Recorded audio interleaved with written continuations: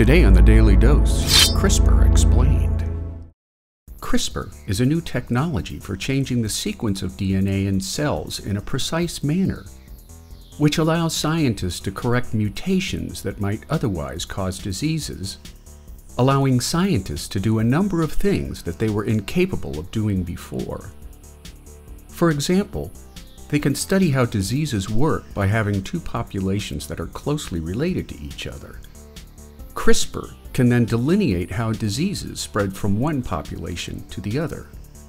Scientists can now modify bacteria and algae to produce useful byproducts such as medicines or biofuels that work much like microscopic factories. CRISPR can modify foods to make seed stock disease or pest resistant in a way that is much more accurate and precise than previous methods of DNA manipulation. The way CRISPR works is by the action of a protein called Cas9 that functions like a molecular scalpel on DNA. The CRISPR Cas9 system has an amazing ability to recognize a particular DNA sequence in a cell that might be malfunctioning, and then disable it by cutting or editing the DNA.